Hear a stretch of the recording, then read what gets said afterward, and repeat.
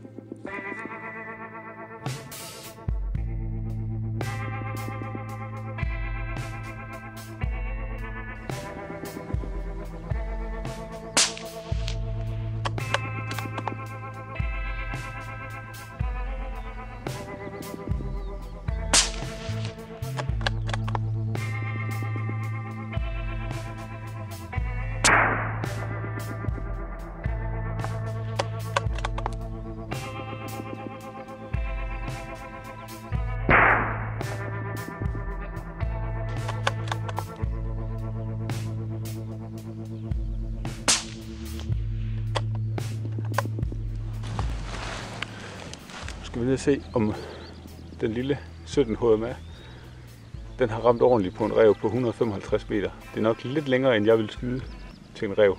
Med det sidevendt. Hmm. De sidder her, alle fem skud.